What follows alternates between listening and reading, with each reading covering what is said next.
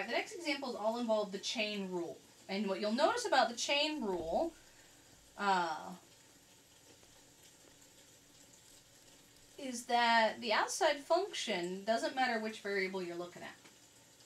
Alright, so this function's the chain rule. I've got my group, 3x squared y plus 5x raised to the power 3 halves. Alright, so the power 3 halves is on the outside, the polynomial part's on the inside. Alright, so the derivative with respect to x, well remember the power rule is I pull the power out front, so 3 halves, leave the group the same, raise it to 1 degree less. So 3 halves minus 1 is going to be raised to the positive 1 half. But I'm not done yet. That's the derivative of the outside. So notice the outside didn't care, uh, didn't have anything to do with the variable part. Now the inside it does matter. Now I'm taking the derivative of the inside with respect to x. And so it's the x values I'm looking at. So in the first term, I've got my 3x squared y. So 3 and y are going to come along. I take the derivative of the x squared, right? That's the part that's changing. Well, the derivative of x squared is 2x. And then plus the derivative of 5x, which is 5. And then if I rewrite this as 6, 6xy, for my x. Alright, and so that's the derivative of that function with respect to x. And again, where that came from, I erased it, but this came from the fact that 3y came along. I took the derivative of x, which was 2x. And so you multiply the 2x times the 3 to get the 6x, and then the y comes along. Alright, so there's the derivative with respect to x. Now the derivative with respect to y. Well, the first part's exactly the same. The outside function, it doesn't matter if I'm looking at x or y, it changes the same way, as the same derivative. It's 3x squared times the stuff inside raised to the 1 half. Where it matters which variable I'm looking at is when I take the derivative of the inside, because it's the inside part where the variables are.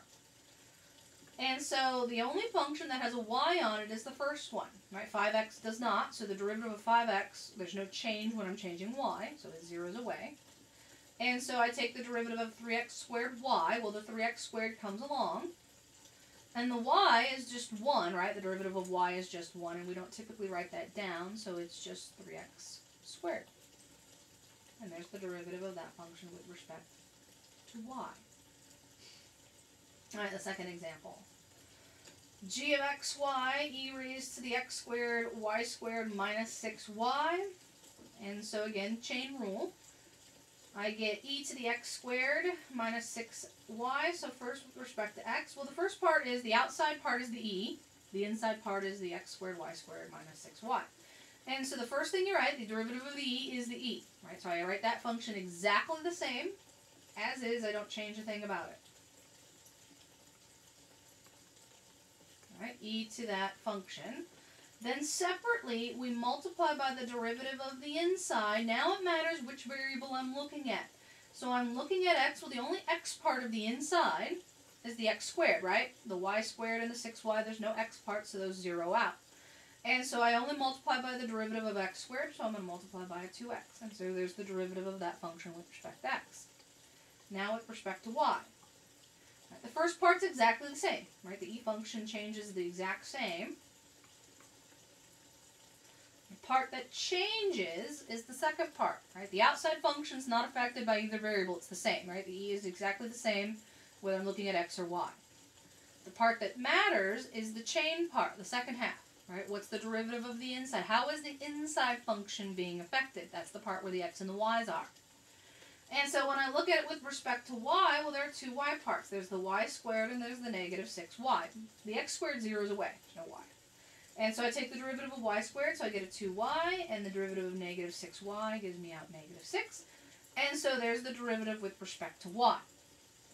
Alright, and so that's the chain rule. I'm going to go ahead and, since those didn't take me that long to do, I'm going to go ahead and do the next example.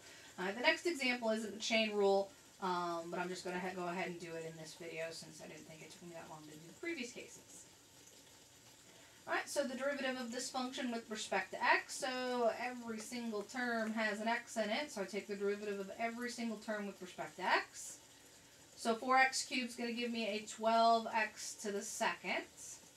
minus the 5 comes along, the y squared comes along.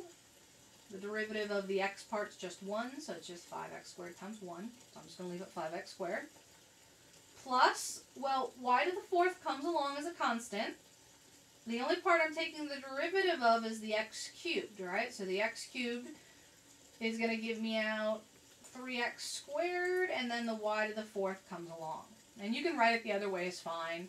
Um, I, I, like to have my x terms first and then my y terms, but if you wrote it the other way, like this, y to the fourth times 3x squared, that would be fine too. Plus e to the 2x, well e to the 2x is e to the 2x times 2. Alright, and there's the derivative with respect to x. Now the derivative with respect to y, which is a little easier. There are only two y parts, right? No y part, no y part. Zeroes out. And so I only have to take the derivative of two pieces. Right, the first piece is the negative 5xy squared. So the negative 5 and the x comes along. I take the derivative of y, which is the y squared part, which is 2y. That's how it changes. Plus, well, the x squared, or sorry, the x cubed comes along. I take the derivative of y to the fourth, which is y, 4 times y cubed. And then I will clean this one up because it's just proper to write this out as negative 10xy. And then we like to have the constant out front, so 4x cubed y cubed would be the derivative of that one. Alright, we'll go ahead stop there. I'll do the last two examples in my last video.